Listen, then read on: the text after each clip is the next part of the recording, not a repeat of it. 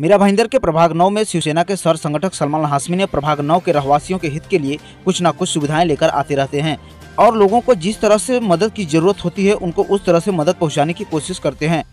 बीते वर्षों में आप लोगों ने देखा होगा कि कोरोना काल के दौरान भी उन्होंने अपनी जान की परवाह किए बगैर लोगों के बीच में बने रहे।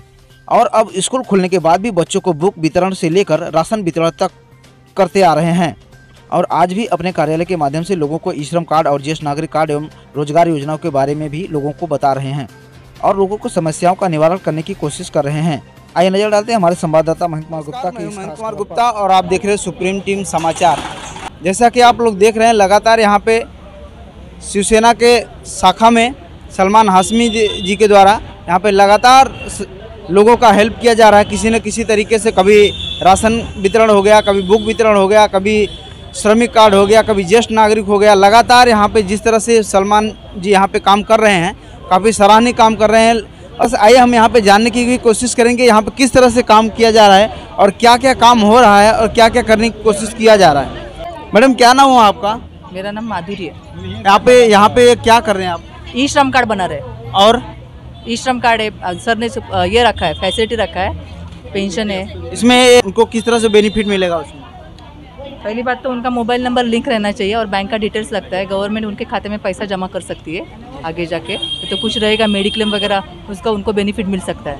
गवर्नमेंट भी सर्वे कर रही है, किसका नंबर लिंक है, मोबाइल नंबर नहीं है, वो सब सर्वे चल रहा है अभी। जैसा कि आप देख सकते हैं, यहाँ पे लगातार लोगों को हेल्प किया जा रहा है, जिसको नहीं मालूम है, उसको बताया जा रहा है कि आप इस तरह से आप यहाँ पे श्रम कार्ड बना सकते हैं या फिर ज्येष्ठ नागरिक कार्ड बना सकते हैं। लगातार यहाँ पे लोग यहाँ पे काम कर रहे हैं। आइए हम जिन लोगों का कुछ लोगों का काम हुआ है उनसे भी जानने की कोशिश करेंगे। क्या नाम हो आपका? मेरा नाम अर्जुन भाई पंचाल।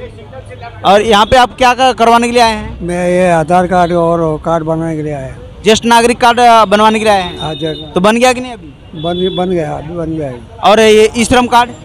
सब कार्ड बनाने का है। बनाने का अभी। तो अभी बनाने के लिए दिए हैं। और ये बताइए सलमान हाशमी जी का काम यहाँ पे कैसा लगा आपको? और सर में आज का बहुत बढ़िया काम लगा रहा है। तो आने वाले समय में अगर नगर सेवक देखना चाहेंगे उनको? हाँ देखना चाहिए। तो इनका कहना है कि जिस तरह से सलमान जी यहाँ पे लगातार काम कर रहे हैं बगैर किसी पद पे रहते हुए तो अगर ये नगर सेवक बनेंगे या किसी पद पे होंगे तो और अच्छा कर पाएँगे। आइए और लोगों से हम जानने की कोशिश करते हैं। मैडम आप यहाँ पे क्या कर रहे हैं? हम श्री ई श्रम का फॉर्म भर रहे हैं। इस श्रम का का- फॉर्म भर रहे हैं। अभी तक आपने कितने लोगों का फॉर्म भरा? दो तीन हो गए। दो तीन हो गया है।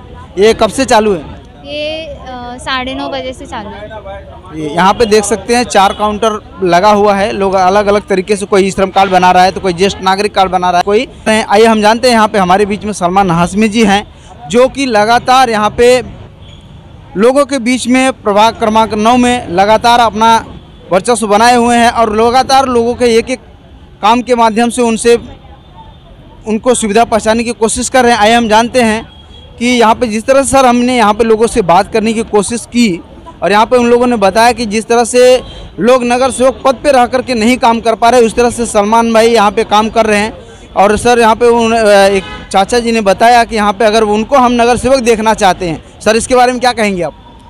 देखिए, ये तो लोगों की दुआएँ हैं और आप देख रहे हैं कि आज यहाँ पे ई श्रम योजना रखा गया है। ई श्रम योजना का कार्ड बना के दिया जा रहा है। आप देखिए यहाँ पे। अब यहाँ पे ई श्रम योजना का कार्य चल रहा है, जो 18 से लेके 59 के एज के अंडर में जो लोग हैं, उनके लिए ई श्रम योजना है।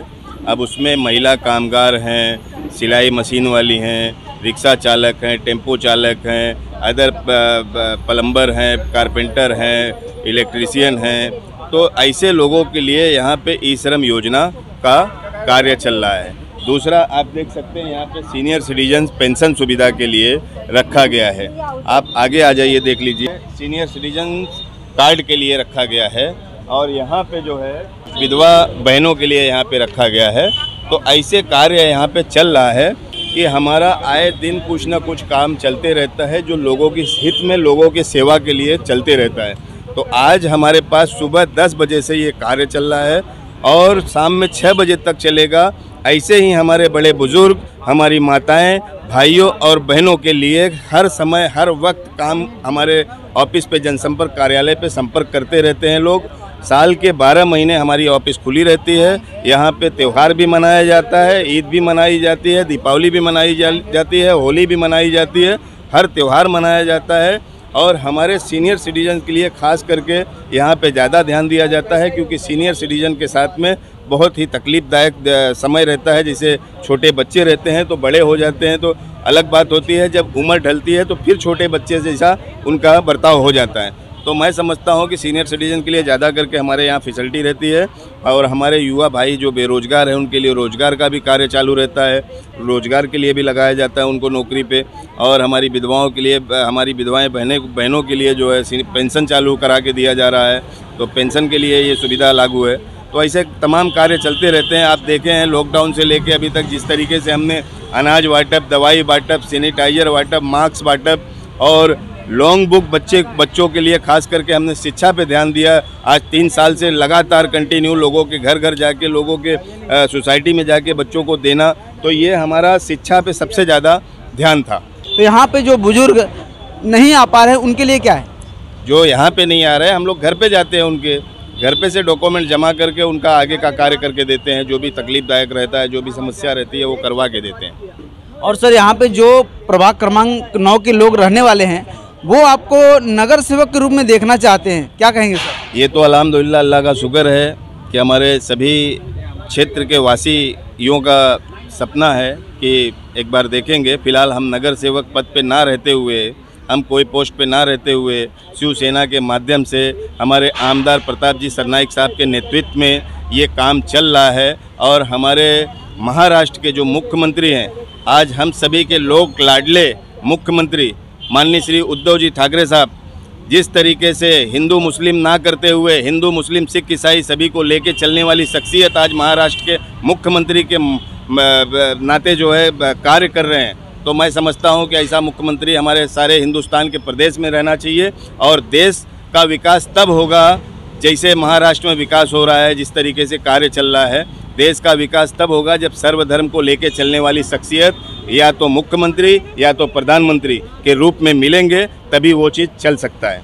सर, एक बात और है कि यहाँ पे आपके वार्ड में लगातार चार नगर सेवक हैं। उन लोग का, यहाँ के स्थानिकों का कहना है कि जिस तरह से सलमान भाई यहाँ पे काम कर रहे हैं, उस तरह से वो लोग नहीं कर रहे हैं। तो क्या आप भी नगर सेवक यहाँ पे लोग बोल रहे बनने के लिए? तो आप नगर सेवक बनेंगे तो क्या आप भी उनकी तरह करेंगे क्या कि आपका ये जो कार्य है, ये लगातार जारी रहेगा? सबसे पहले तो आपके मीडिया के माध्यम से मैं बताना चाहूँगा कि हम कोई पोस्ट पे ना रहते हुए आप सो, देख सकते हैं कि 16-17 सालों से हम मेहनत किए जा रहे हैं, लोगों की मदद किए जा रहे हैं, लोगों के लिए कार्य करते चले जा रहे हैं। तो नगर सेवक बनने के बाद हमको नहीं लगता है कि फिर आगे कोई तकलीफ़ आएगी।